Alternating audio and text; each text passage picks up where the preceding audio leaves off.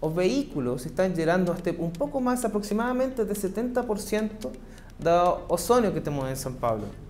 O ozônio sim é um problema significativo que é um desafio para as futuras autoridades que vão estar em São Paulo e no geral é um desafio para as pessoas que vivem na cidade, né? porque cada vez mais pessoas moram em cidades e cada vez mais pessoas vão estar mais expostas à poluição do ar.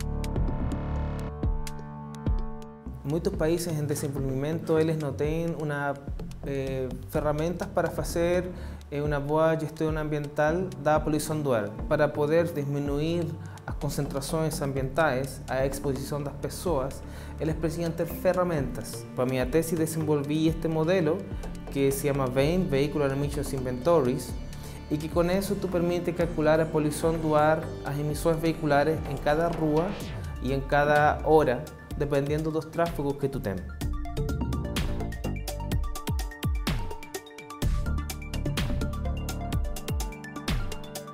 Primeiro que precisamos é um dado de tráfego, de fluxo vehicular em cada hora. E também, se estiver disponível a informação de velocidade, também a velocidade. Se tem um grande fluxo que está indo mais rápido ou mais devagar, isso vai ter uma influência. A segunda etapa deste modelo que es importante son los factores de emisión.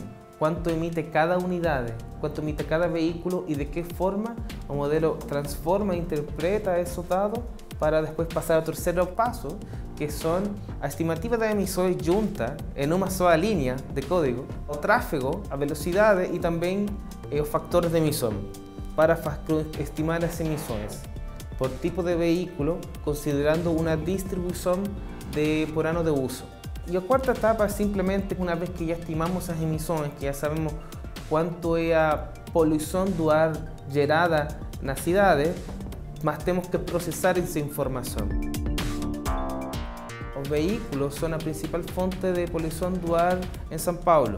Si nos controlamos las emisiones vehiculares y si nos diseñamos escenarios para tomar una decisión inteligente, podría ser una herramienta para ayudar a controlar o problema ambiental de polución do ar que tenemos en São Paulo pelo.